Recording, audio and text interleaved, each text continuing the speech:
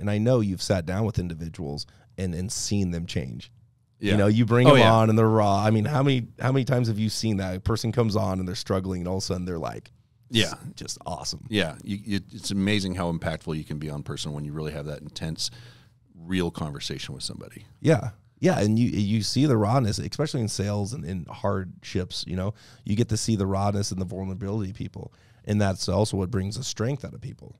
Yeah, You know what I mean? When you're really vulnerable and you're in that that moment and you're in dire need, you know, for you to be successful in your company. And I, I've known, I knew of you even before we knew each other because we'd have individuals go work for each other. right.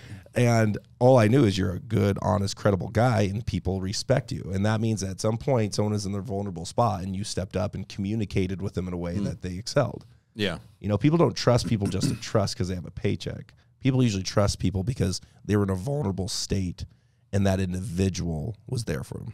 yeah. Somebody invested in him, right? That's, And that's what it takes is like being interested in people and investing in them and believing them in them when they don't believe in themselves uh, can really move their lives.